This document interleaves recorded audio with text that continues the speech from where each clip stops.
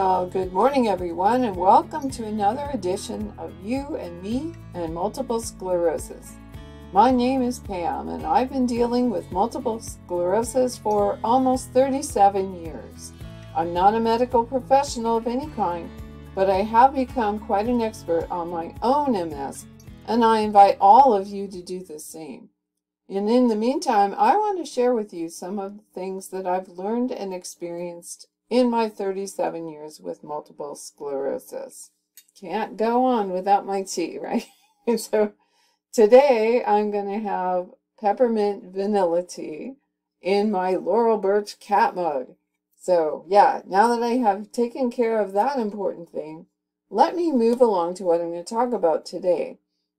Sometime earlier, I had posted a video about Dr. Roy Swank, who for me has been kind of the foundational neurologist when it comes to how to look at multiple sclerosis as something that's affecting the body and that you have more control over certain aspects of that than you might think. We are in a world where the solution for everything comes in a pill or a shot. I'm not going to say that those things don't have their place. They certainly do. But we all want to be able to change something about how we're going on with our lives to make things better, to keep ourselves from feeling unnecessarily worse.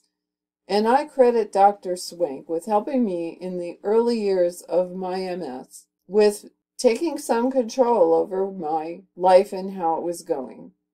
And I think it did really help my MS. There's no way to know because you can't be the control of your own experiment. But there, but I do believe that I am better today because I was given a copy of Dr. Swank's book early on in my MS life and that I did follow his guidance for a number of years. I was also privileged to be his patient for several years in the mid 2000s while he still had his clinic in Portland, Oregon. For quite some time, he, he was the chair of the neurology department at Oregon Health and Science University, which to this day is my place to go for not just neurology, but oncology and any number of things because they're pretty fantastic down there. But he was their department chair for neurology for 20 years from 1954 to 1974 although his research on diet and multiple sclerosis actually spanned far longer than that. It started in 1949 and went all the way to his death. The story goes that when he had enlisted in World War II, when he was fighting over in Europe, he saw that there was a mysterious decline in the number of folks suffering with chronic illnesses like heart disease, like multiple sclerosis, and he searched for a reason for why that might be. Well, he figured out that what was going on was that with all of the shortages and the rationing of things like meat and dairy, people had to change the way that they were eating. And it may have been those very changes in diet that accounted for their better health. So he decided when he came back from the war that he was going to study that more carefully to see if that were really true. So in 1949, he was in Montreal at the time. He began a decades long investigation into whether diet, particularly a low fat diet, would help with multiple sclerosis. Here is a photo of Dr. Swank, around the age when I knew him. And on the right is the current edition of his multiple sclerosis diet book. The book that my friend gave me was actually an earlier edition, and the, some of the recipes may have been different, but the basic text was the same his diet principles and the conclusions that he drew. Unless you think that he was just a nutritionist that, you know, happened to have a neurology degree, Here's the start of the in memoriam article that was published in the highly respected journal Neurology when Dr. Swank passed away. And I'll just read this, and you'll get an idea of the breadth of his scientific expertise. Dr. Roy Laver Swank, first head of neurology at what is now Oregon Health and Science University, died November 16, 2008, in Portland at age 99. Dr. Swank was best known for his advocacy of a low fat diet for multiple sclerosis, but his career encompassed much more. Between 1934 and 2003, he published over 170 scholarly works. His varied research included studies on a stain for myelin undergoing degeneration, the Swank-Davenport stain, thiamine deficiency, chronic combat exhaustion, prevention of microemboli following cardiac bypass surgery, effects of fat on blood viscosity, and diet in the treatment of MS. Yeah, that's a pretty impressive set of investigative endeavors, wouldn't you say? Well, here is the list of dietary guidelines that Dr. Swank promoted in his book and certainly in his clinic. These were the kinds of things that he was telling us that we needed to do. First and perhaps most important, no processed foods containing saturated fat and or hydrogenated oils. So as we know, saturated fat is predominantly found in animal-based foods. There are a couple of plant foods, notably the avocado and nuts, would have some saturated fat, but the vast majority of saturated fat in the American diet will come from animal fat and also hydrogenated oils, which at least in the United States have been pretty much taken away from foods that are available to us now. No naturally occurring food is going to have hydrogenated oil in it because by its very nature, hydrogenated means that something has been done to it in processing. Second, saturated fat should not exceed 15 grams per day. So you can have a few nuts. You can do a piece of avocado, but you really need to be careful how many grams of saturated fat you ingest per day. An unsaturated fat, which is oils, which are vegetable based, should be kept 20 to 30 grams per day.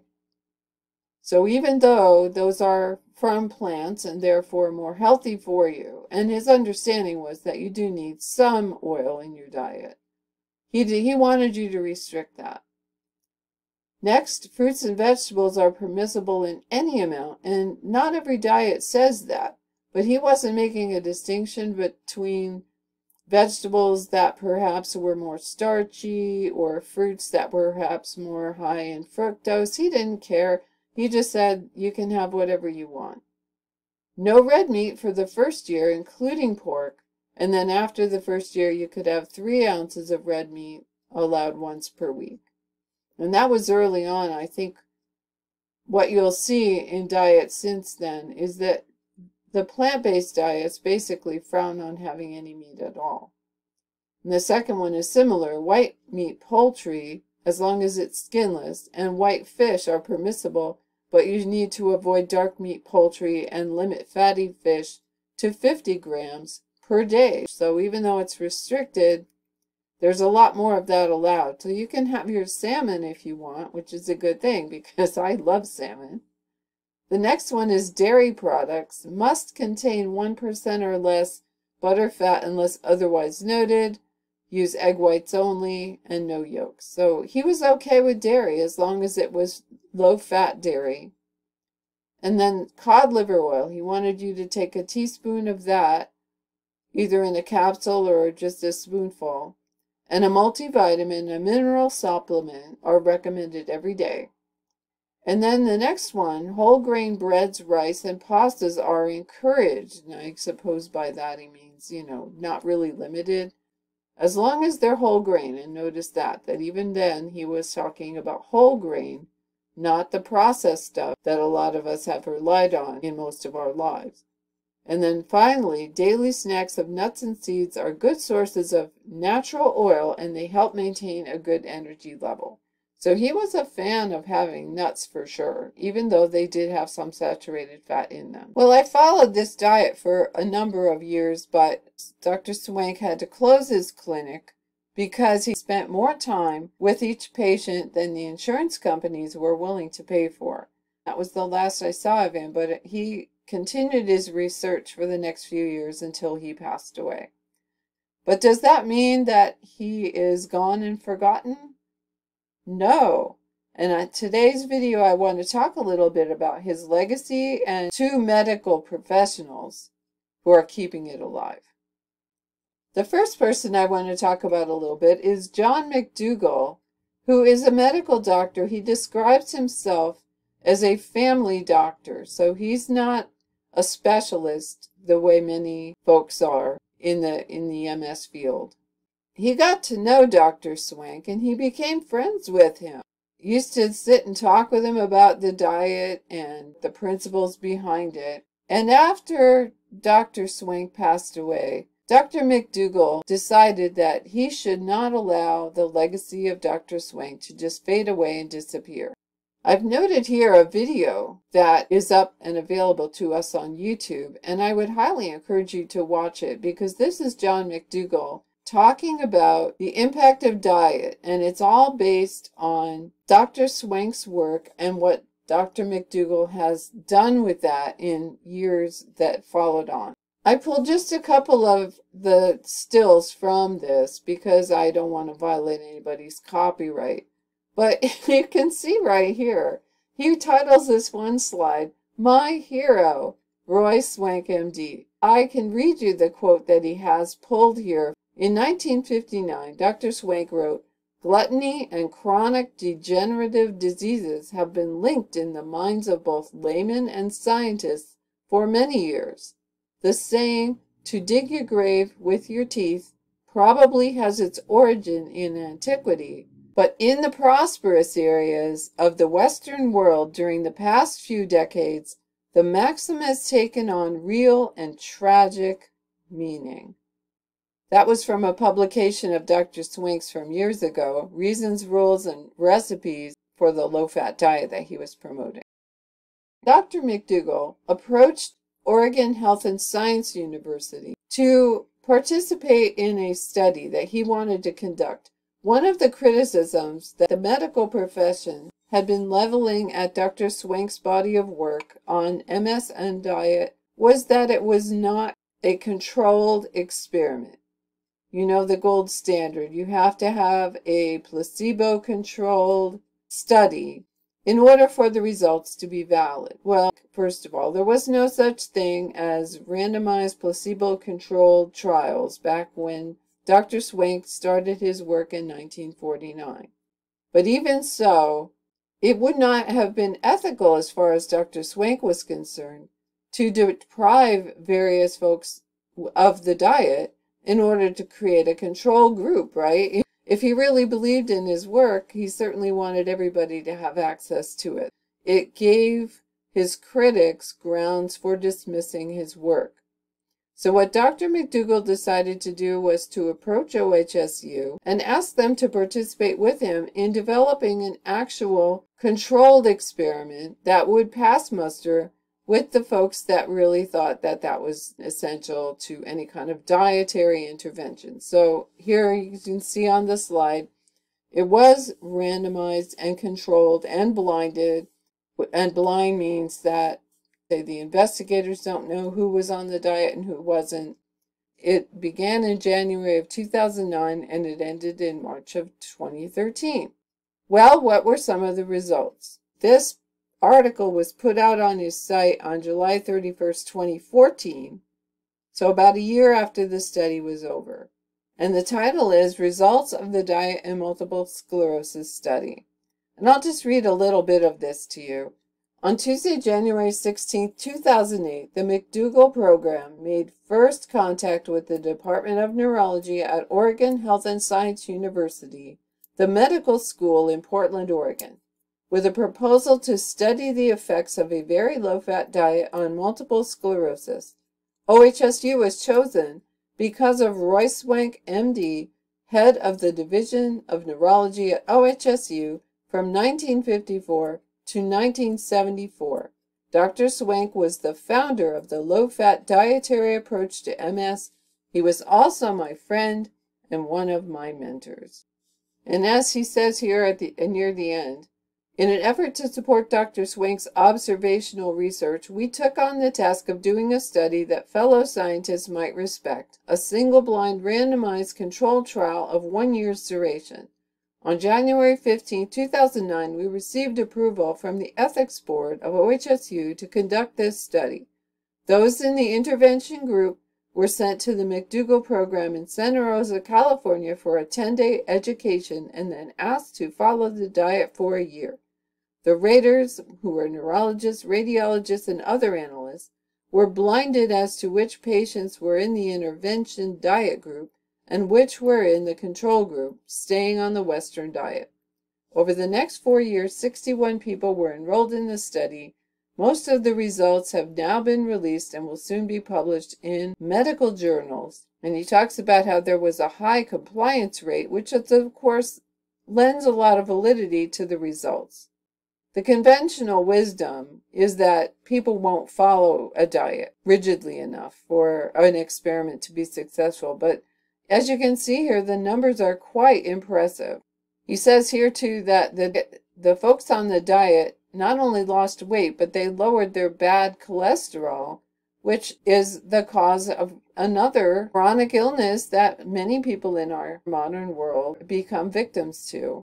The bottom line was that there was a strong correlation discovered between just general better health for those with multiple sclerosis and following the diet that Dr. Swank had promoted for so many years. And as we can see here, follow-up studies continue to be done, and one that was published in 2014 showed that that same study gave us evidence that low-fat diet helps fatigue in people with MS.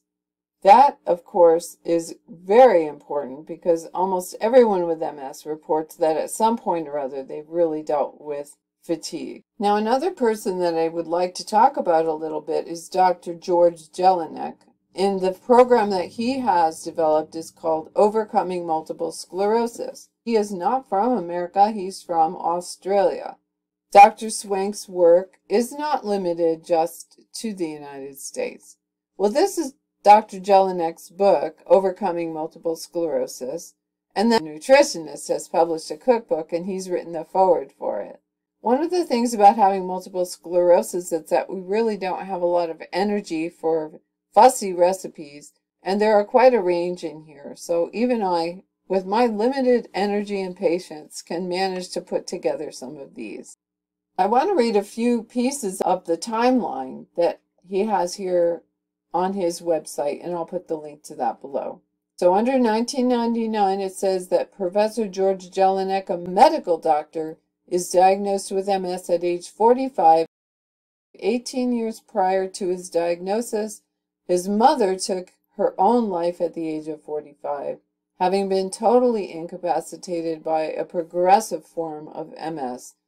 So that is his motivation and I would say that makes him one of the few medical doctors dealing with MS who's actually got MS.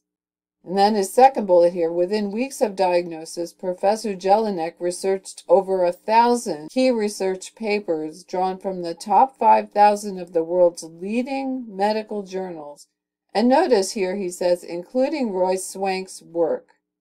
Swank is the only person he mentions by name in this little summary.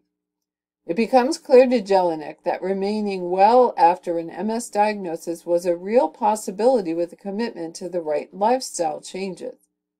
He creates the Overcoming MS program, including recommendations for lifestyle and dietary changes.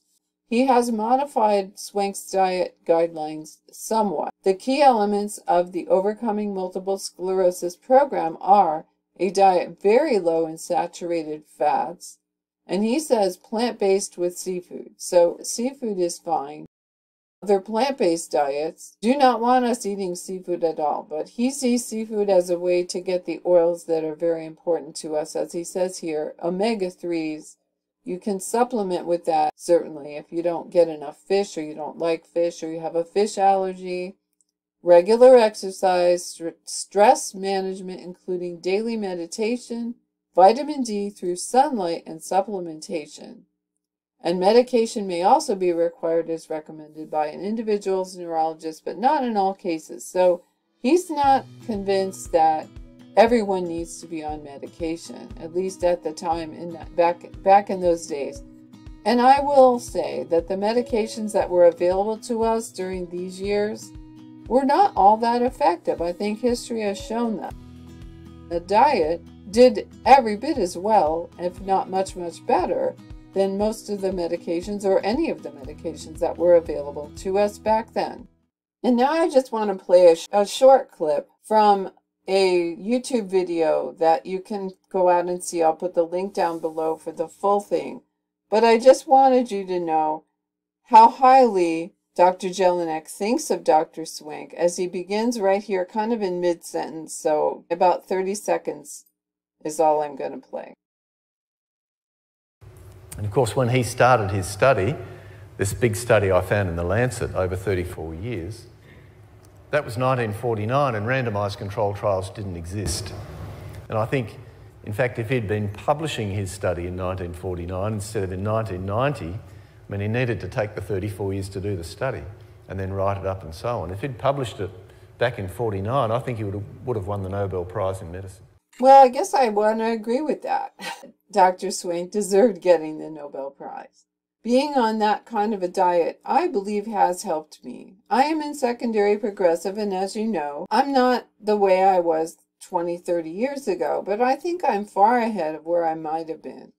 I have not been perfectly following the diet, but I have modified it maybe a little bit more in line with what Dr. Jelinek is proposing. I love seafood and we do eat quite a bit of that. I'm really not interested in eating much other meat. And I really do try to cut back on processed foods, particularly sugar and refined flour, because I believe that the more we eat whole grains, the better we will be. Our digestive system and certainly our brain will appreciate that we aren't eating all that refined powdery stuff that as far as the brain is concerned, you might as well be inhaling some kind of drug because it hits your brain like a, a tidal wave. So that's basically it. I just really wanted to follow up with my video on Dr. Swank that I made, oh, quite some time ago because if I left the impression that his work has been lost to history and swallowed up in all of the medical advances that we've made since then, I did not mean to leave that impression. I do believe that diet plays a critical role in multiple sclerosis just as it does in anything else in life. So I would invite all of you to investigate one or more of these various dietitians, nutritionists, medical professionals what they have to say about diet and what they back it up with, what kinds of studies, what kinds of research they've done, and why they promote the things that they do, and why they tell us to restrict what they do. I think it repays study. And one thing I know about people with MS, they're really good at researching and studying stuff. So go for it. And if you have any comments, if you follow a certain diet and it's worked for you, not worked for you, I would love to know more about that. So leave a comment, let me know. But I'm going to get back to drinking my tea. So until next time, take care.